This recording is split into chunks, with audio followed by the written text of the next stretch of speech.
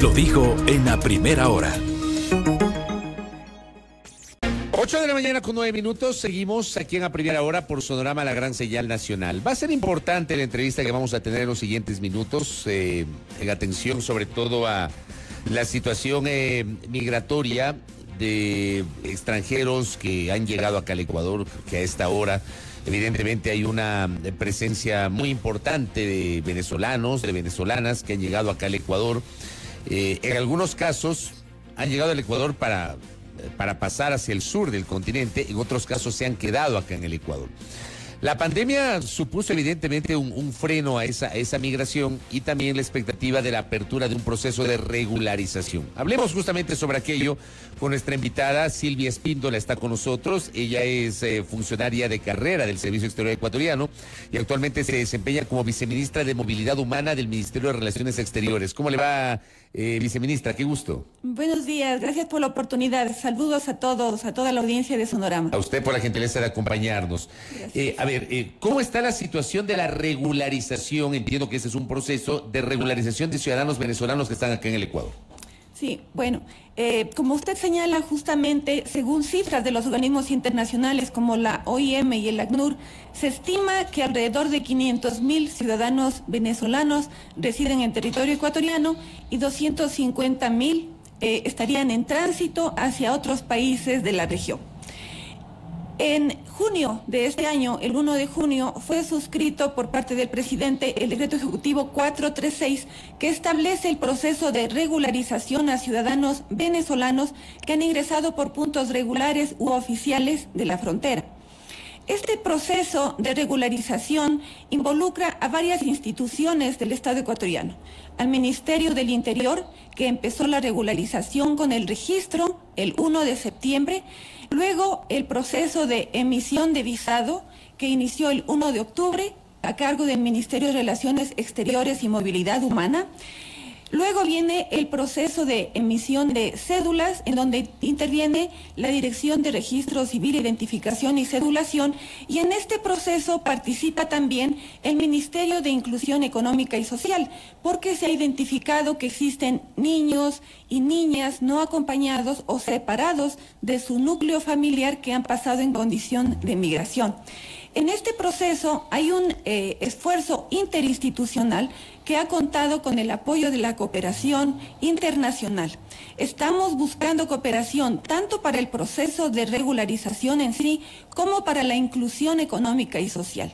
Nosotros consideramos que la regularización es importante porque, por un lado, nos permitirá conocer cuántos venezolanos efectivamente residen en territorio ecuatoriano, tienen vocación de permanencia en el país, cuántos eh, de ellos tienen formación profesional, cuáles son sus ocupaciones, sus rangos etarios, etcétera. Y por otro lado, esta información servirá para implementar políticas públicas a favor de las sociedades de acogida y también de esta población que se encuentra en condición migratoria. En este momento eh, tenemos un estimado de cuántos venezolanos se han regularizado. Hasta el momento tenemos eh, un registro de solicitudes de visado de más de 31 mil personas, de las cuales ya hemos emitido, a las cuales ya hemos emitido un visado a más de 17 mil. Estamos hablando de alrededor de 17 mil 160 visas emitidas hasta este momento, de las cuales cerca de 9 mil han sido emitidas a mujeres, alrededor de 8 mil 100 a hombres y 40 visas emitidas a um, niños, a menores. Quiero señalar que el proceso de emisión de visado es 100% en línea, excepto para los menores que tienen que acudir personalmente. Este proceso, em, como le decía, es realizado en línea, las personas no tienen que acudir en persona y eh, nos ha facilitado tener un registro y tener una plataforma en la que las instituciones están interactuando. Es decir, que nosotros contamos con los datos del Ministerio del Interior, de los registros de ciudadanos extranjeros que ya tienen el registro de permanencia en el Ecuador y luego también tenemos el registro de la emisión de visado. Luego, también interconectados con la plataforma del registro civil, tendremos la información respecto de las personas que han obtenido su cédula. ¿Qué, tipo de visado es el que se les entrega? un visado extraordinario, eh, el nombre es Visa Virte es eh, una que les permite una residencia temporal extraordinaria. ¿Y con ese visado pueden trabajar o no? Eventualmente, claro que sí, pueden trabajar. Esta visa es por dos años y puede ser renovada por una sola ocasión les permite trabajar, les permite acceder a la salud, a la educación. Y como usted conoce nuestra constitución es muy garantista y reconoce igualdad de derechos e igualdad de obligaciones tanto para los nacionales ecuatorianos como para los ciudadanos extranjeros independientemente de su condición migratoria. Usted me decía, eh, hay como 31 mil solicitudes, de las cuales 17 mil se han aprobado los visados, de las cuales 9 mil corresponden a mujeres. Esas 17 mil aprobadas, ¿qué requisitos cumplieron los venezolanos para efectivamente haber recibido el, privilegio de la visa, porque el visado termina siendo un privilegio de las naciones, de los estados. Eh, ¿Qué presentaron o cómo lo lograron? Los requisitos fundamentales para poder acceder a esta visa son, primero, haber ingresado por un punto regular u oficial de la frontera. Segundo, haber concluido el proceso de registro de permanencia en el Ministerio del Interior.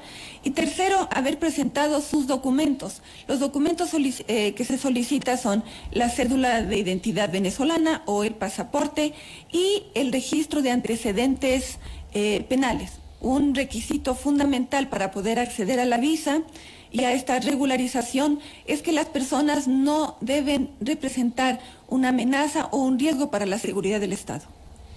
Eh, correcto. Eh, y, cuánto tiempo más o menos tarda el proceso? 40 días es el plazo máximo eh, desde la solicitud hasta la emisión de la visa. ¿Y qué pasa si le niegan el visado al venezolano? Si por ejemplo no cumple con los requisitos y el Estado ecuatoriano decide que no es elegible para obtener ese visado? Eh, bueno, estaría en una situación irregular y tendría que salir del país. ¿Y, ya ha pasado, se han dado casos de que han negado la concesión de la visa? Hasta el momento no ha habido casos. Eh, ha habido ocasiones en que hay que subsanar los procesos, porque, por ejemplo, no han presentado su cédula de identidad o algún documento que es fundamental es un requisito que se eh, solicita para la emisión del visado. Y en ese caso los venezolanos pueden volver a solicitar subsanando con la presentación de los documentos que se solicitan. Eh, comenzó en junio. ¿Hasta cuándo se extiende el proceso? Hasta el 15 de agosto del 2023 es esta primera fase para los venezolanos que han ingresado por puntos regulares. Hablamos de primera fase. ¿Cuántas fases eh, tiene el proceso? Este proceso que está dirigido a eh, ciudadanos venezolanos que ingresaron por puntos regulares, como le decía, comienza con el registro, luego la emisión de la visa y la cedulación. Eh, el gobierno ecuatoriano busca eh, en una segunda fase regularizar a ciudadanos extranjeros que han ingresado por puntos regulares y en una tercera fase a ciudadanos venezolanos que han ingresado por puntos irregulares. ¿La pandemia frenó la migración de venezolanos por el cierre de las fronteras o no?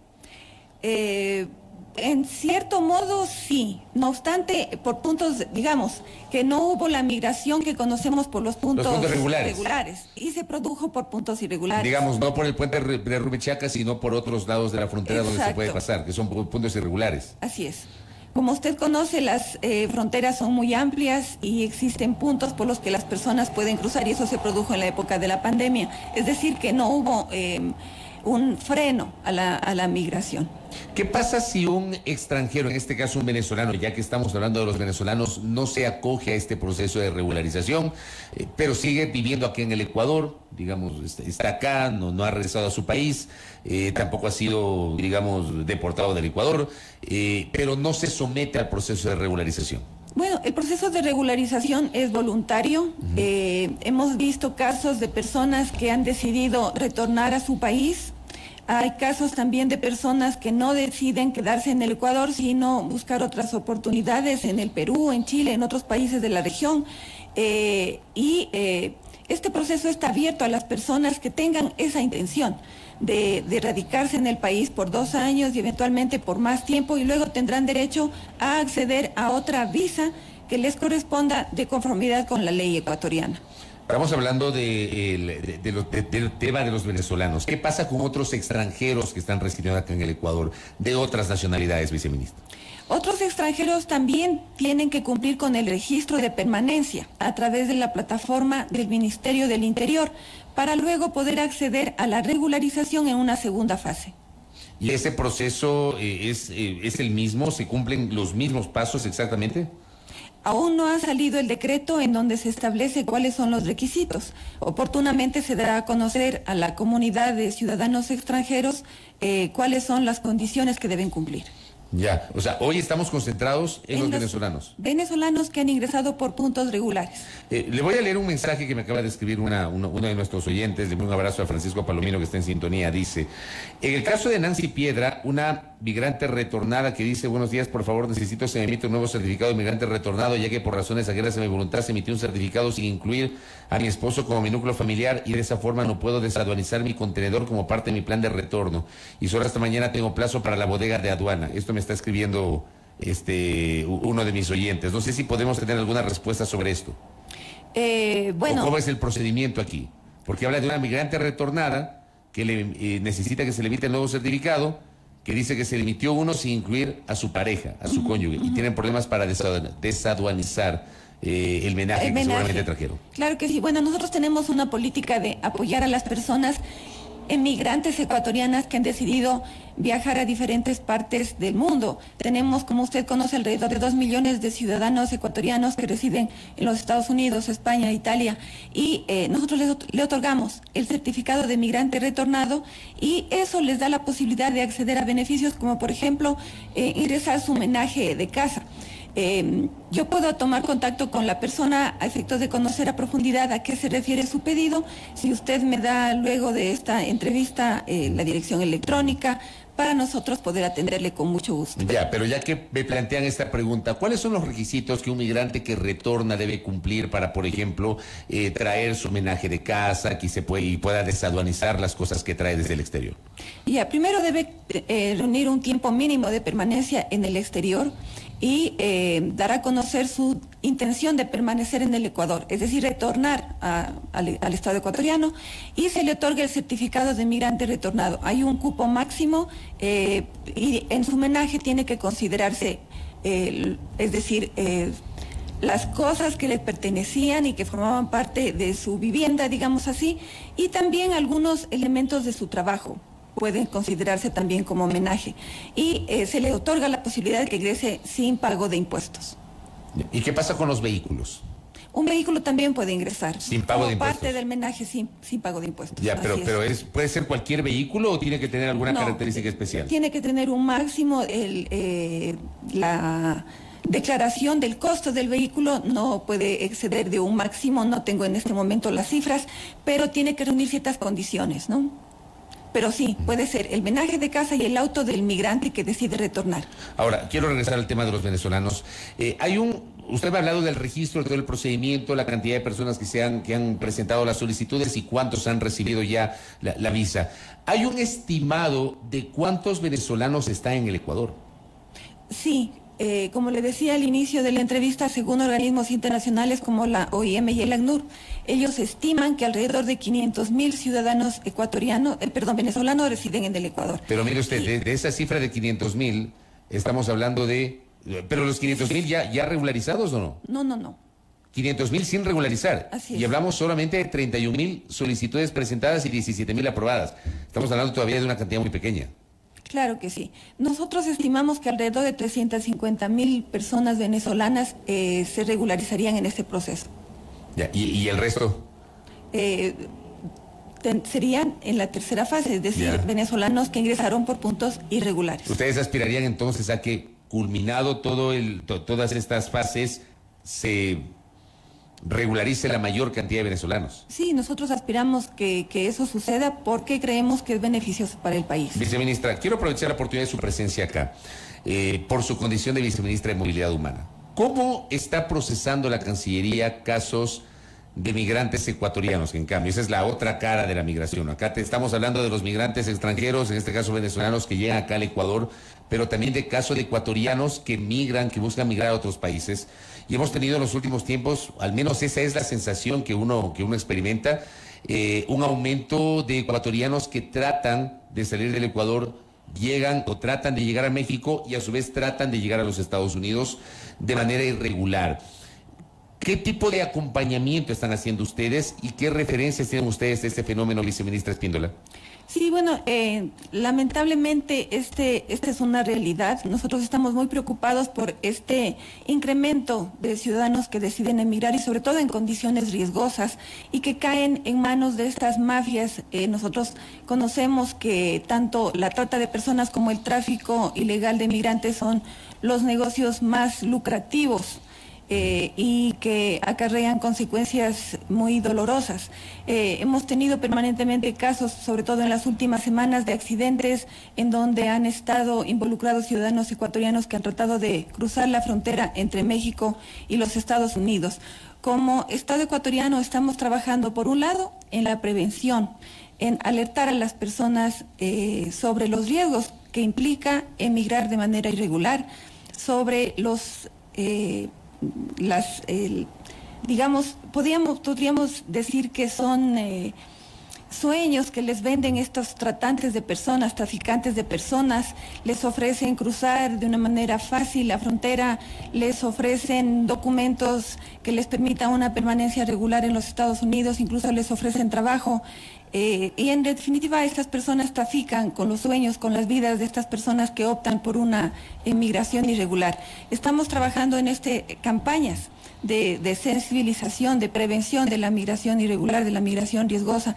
Por otro lado, estamos trabajando en mesas interinstitucionales con las instituciones del Estado que tienen que ver con trabajo, eh, inclusión económica y social, para desarrollar acciones que permitan a estas personas eh, trabajar, quedarse, aportar al desarrollo del país en sus provincias. Tenemos identificadas las provincias de Chimborazo, Cañar y Azuay, que son las principales de donde emigran los ecuatorianos. Asimismo, estamos trabajando en proyectos que permitan una migración regular, ordenada y segura, a través de unos acuerdos con países desarrollados que permitan la migración que se denomina circular, de tal modo que los ciudadanos ecuatorianos que tienen calificación técnica, por ejemplo, o que tienen especialidad en temas de agricultura, puedan trabajar en otros países. Tenemos un eh, proyecto muy exitoso con España. Eh, este año viajaron 250 ecuatorianos para trabajar en la agricultura en el sector de Huelva, en España. Nueve meses permanecieron allá y tres meses aquí en el Ecuador y la idea es que esto eh, se mantenga en el tiempo. Estamos trabajando en diferentes frentes. Lo que tratamos es de evitar que las personas salgan en condiciones de riesgos y nuestra red de consulados, sobre todo en la frontera de los Estados Unidos, los consulados de Houston y de Phoenix y los consulados mexicanos, así como los consulados centroamericanos, trabajan activamente para dar seguimiento a las personas que afrontan situaciones de vulnerabilidad y a sus familias. Pero, por ejemplo, eh, hay, hay, casos, y esto ha sido público en los últimos meses, de, niños muy pequeños que han sido localizados en la línea de frontera eh, y que han sido rescatados. En ese caso, ¿cómo han eh, actuado ustedes como Cancillería? Sí, bueno, hay ciertas leyes de los Estados Unidos que son muy flexibles y eh, apoyan a los menores no acompañados que cruzan la frontera de los Estados Unidos y buscan la reunificación con sus familiares. Nosotros hemos dado acompañamiento a través de nuestros consulados, sobre todo el de Phoenix y el de Houston, que son los que reciben casos de menores no acompañados. Ellos siempre están pendientes de la seguridad de los niños, que se siga el proceso adecuado y ver por el bienestar en los albergues en donde son recibidos eh, cuando estos casos suceden. Viceministra, para cerrar, eh, retomo el tema de Venezuela a propósito de una inquietud que nos envió un oyente. Dice, el decreto 436 es discriminatorio, solo es para personas de Venezuela, se quedan por fuera otras nacionalidades. Además, la plataforma está tan mal estructurada porque obliga a que las personas sean todas profesionales, por tanto, los que no tienen título se quedan por fuera. mensaje que le leo tal cual de un oyente. ¿Usted qué le responde? Eh, como le decía, el decreto 436 establece la regularización para ciudadanos venezolanos que ingresaron por puntos regulares. Posteriormente se emitirán decretos para el resto de nacionalidades o para los venezolanos que ingresaron por puntos irregulares. Estamos en este momento en una primera fase. Eh, no es discriminatorio, está abierto a todas las personas que cumplan con los requisitos evidentemente que le acabo de mencionar, de haber ingresado por puntos regulares, eh, de no eh, significar una amenaza para el Estado ecuatoriano, de cumplir con el registro de permanencia y pueden solicitar el visado correspondiente. Ah, eh, quisiera señalar que ha habido algunos inconvenientes en la plataforma. Este es un proceso muy ambicioso, yo creo que el más ambicioso eh, que, ha tenido el Ecuador, por el número de personas que pretende regular y porque ha buscado la interoperabilidad entre las instituciones nacionales para poder tener una coordinación adecuada. Pero estos problemas han sido menores. Eh, y son técnicos y se, están subsanando en el camino. Em, hemos tenido coordinaciones permanentes con las instituciones y al interno en la Cancillería, con, los, con la empresa proveedora de la plataforma y también con las áreas técnicas del Ministerio a efectos de dar una solución inmediata a estos temas. Correcto, viceministra, gracias por el tiempo. Gracias a usted. Gracias a Silvia Espíndola, quien es viceministra de Movilidad Humana, nos ha explicado detalles del proceso de regularización de ciudadanos eh, venezolanos que residen acá en el Ecuador y también hemos abordado otros temas vinculados a su eh, actividad, a las funciones que ella desempeña. Primera plana, todas las noticias, todas las voces.